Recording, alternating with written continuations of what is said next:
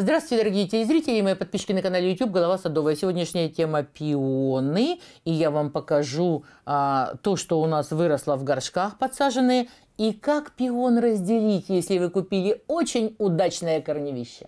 Ну вот, то, что у нас посаженное было, помните, да, когда я охала и охала, и просто насильно заставляла вас э, при покупке пиона сразу же посадить его в горшок. Вот так он выглядит, это желтого цвета пион, он не набирает шишечки, вот видите, каждая, допустим, ветка должна закончиться э, бутоном. Но в данном случае этого нет, и это хорошо, ему надо вырасти, причем э, нарастить к осени почки замещения розовые такие вот, вот такие вот толстенькие, тогда на следующий год он уже будет способен и расположен к цветению. За лето его надо кормить неоднократно, поить его тоже надо достаточно часто. Хлебный настой для него очень показан. А вот здесь вот в пакете это новенький. Ну, понимаете, да? Таблетки от жадности перестали продавать в аптеке, поэтому, когда идешь мимо такого пиона, Нэнси Норка, то пройти невозможно, все время хочется притормозить. А это, кстати сказать, это желтый пион, желтого цвета. Называется он Yellow Crown, да. Так, ну что, придется его разделать, потому что в субботу после обеда он отправится в горшок.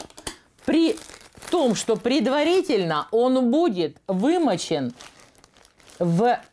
Видите, как он упакован хорошо? Сейчас мы посмотрим, есть ли у него корни. Не, ну корней белых, конечно, нет, и нечего было особо надеяться. Вот тут чуть-чуть слегка что-то развивается такое. Вот смотрите, из этого корневища можно получить два растения. Да, а, у него, вот все-таки я вот так уберу, чтобы вам было видно и понятно. Значит, вот они корешки, видите, молоденькие, беленькие. Это говорит о том, что э, все-таки с ним все в порядке – вот так обтрусим. Я хочу, чтобы вы видели, что я делаю.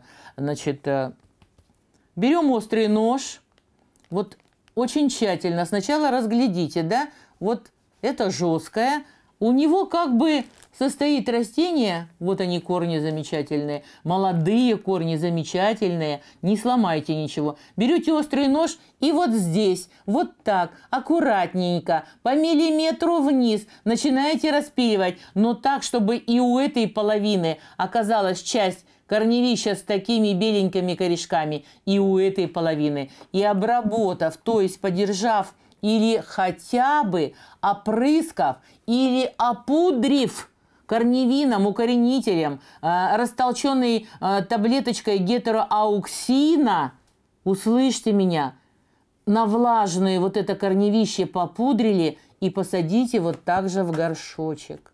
Вот тогда из него вырастет полноценное растение. Пока еще розовые побеги и желтые листочки, его можно достаточно посадить глубоко, вот так. Вот у него почки были на этом, да, вот здесь, вот верхние почки, вот они верхние. Значит, хотя бы вот так землей засыпать надо. Хотя бы. Вы, если сделаете все правильно, то будете большие молодцы белые корни есть. Он живой, он жить хочет, ему, ему цвести хочется.